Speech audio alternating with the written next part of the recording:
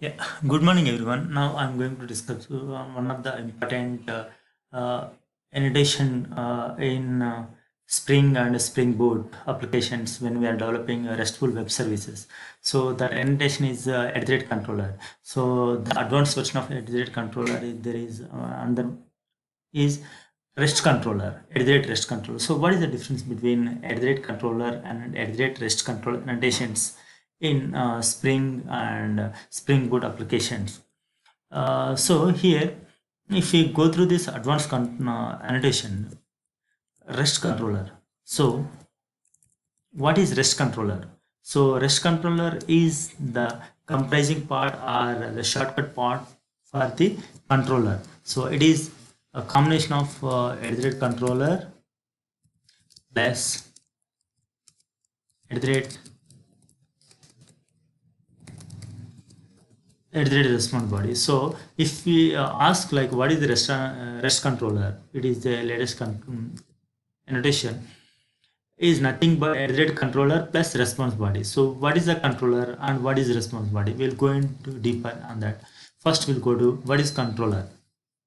So in any web applications or services, uh, we have like if you see web applications uh, like uh, Spring uh, or uh, Struts frameworks, we have MVC model architecture. So what is MVC? Model View Controller. So views like a user uh, interface where it is developed in HTML which uh, interact with the uh, uh, client. Client uh, is in giving some input from the UI and that uh, request is reached to controller. So controller. So in Spring, what is the controller? So there are different types of controller. One is the main, one is the front controller. So here front uh, front controller it takes every request from the client.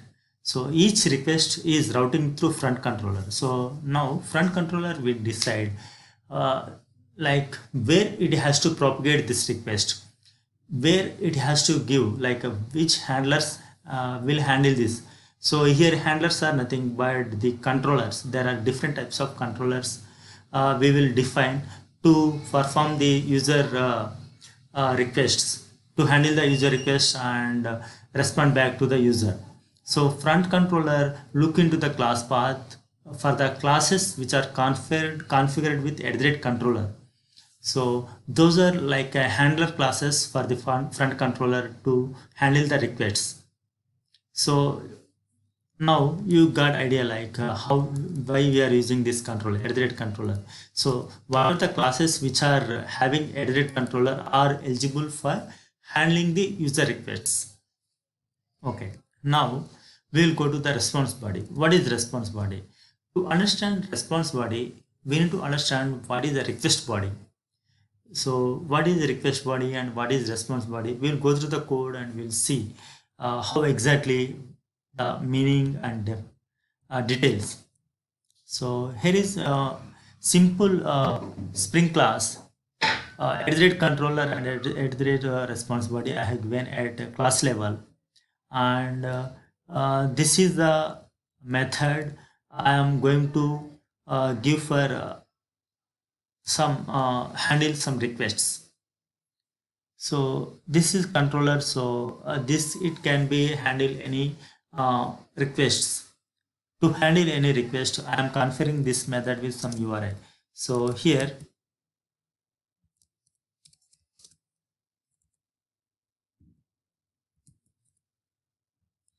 yeah i'm using annotation request mapping. And in this mapping i am uh, configuring with the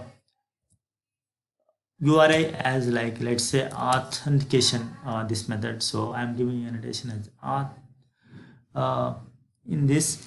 And request method I'm taking a post request uh, to get the data from uh, request body. Okay.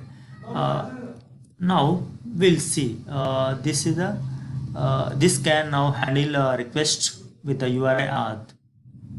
This is the handler now.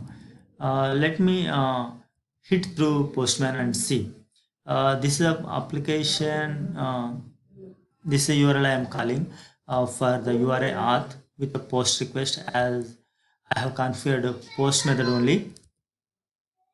Uh, so here i'm giving like some username is random a and password is uh, some random b. And i'm sending the request. Okay so the request i'm sending as a json. Here if you see it is a json format uh, uh, username and password. Uh, username key and uh, value some value and password key and some value. And i hit. So i got some response but uh, what is happening here? So the request is reached here and this is got executed but i didn't receive the username and password here. I am trying to print the username and password because why it didn't understand? Because outside world is sending uh, some json object like uh, postman is sending json object.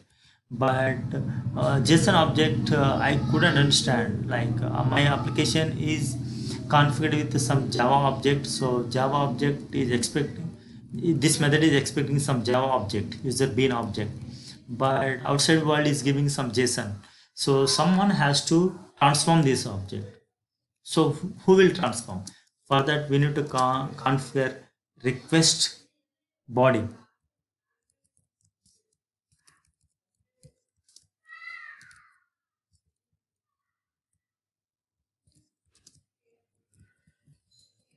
So request body what it will do uh, request body takes outside world input. They might be sending xml or json or string. So outside world's input and it convert into java understandable object. So here postman is sending json object. Json list it is. And here request body converts the json list and transformed into user bean by populating user bean fields username and password. We will see now uh, whether those inputs are reaching to my service. Yeah i send again this uh, username and password. So now my service is able to understand username and password. So because uh, request body transformed the uh, outside world json and converted to uh, Java understandable object. Now, what is the response body? We understood request body. So response body is something uh, which transform uh, our Java object into outside understandable objects. So here one thing uh, for some client is interacting with our application. Our application is developed in Java and Spring, and outside application might not be developed in uh, Java. So uh, they didn't understand what is json uh, what is uh, java object. But they can understand uh, what is uh, json object and json request and what is xml what is string. So they will send the uh, input in xml or json and they're also expecting the input in xml or json because they cannot understand uh, Java object. So response body's uh, responsibility is to transform our uh, Java object and convert into a client required uh, format, probably JSON or XML. So that is so here uh, we already give a response body and if you see output it is coming as JSON means response body annotation by default converting a Java object. This is a Java object. It is converting and returning right here. This converted into JSON and return. That's the reason uh, whatever the properties in Java object. These properties are converted into JSON and return back. So, so for better understanding, I will uh, configure with XML and we'll see how the response body is uh, transforming our Java object into uh, other formats like uh, XML. So here produces by default I'm giving application JSON. So this is a default format. If you won't give also it uh, response body converts our uh, response into application JSON. This one. So now i am trying to convert it to xml so i'm giving uh, produces as uh, xml application xml means i'm asking a response body to convert my response info bean object which i am returning to a xml format.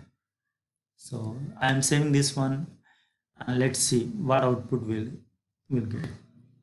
I'm giving some numbers uh, to differentiate uh, from the previous requests I have given username and password uh, numbers and I'm sending the requests.